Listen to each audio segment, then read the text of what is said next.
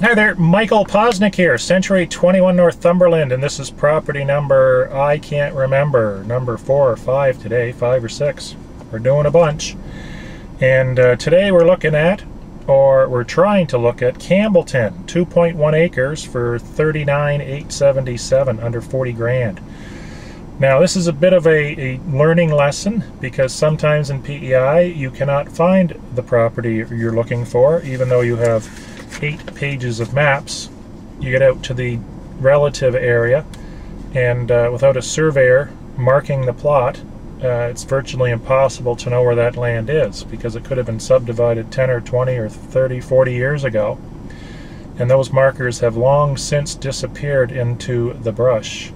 So uh, at this point, we're just going to do a, a, pan from the uh, the road, and I don't know if we'll be able to get much more out of it than that until uh, such time as a surveyor uh, visits and uh, flags the lot.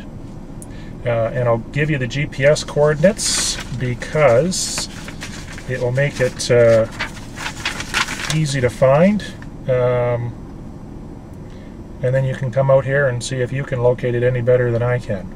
So those are the coordinates where we are right now, and to the best of my knowledge, we're sitting within a few hundred feet, or a thousand feet one way or the other, of the Campbellton acreage.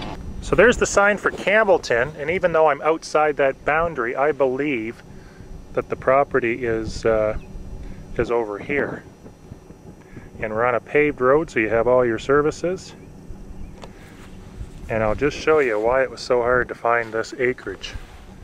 It's just a very large field of brush.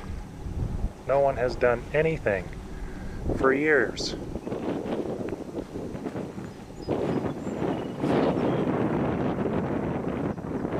So that's it for Campbellton until further notice. So I was able to get down to the frontage on Campbellton through a side road. So this is the approximate frontage here and what you can expect in the form of a beach with this large parcel on a paved road. It's actually quite nice. And there's a little freshwater stream here at the bottom of this side road that I took, just to the east, that feeds into the ocean.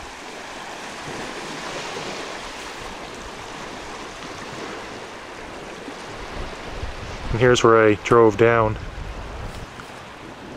Not bad, not bad at all. You're certainly not going to have to worry about the crowds on the beach.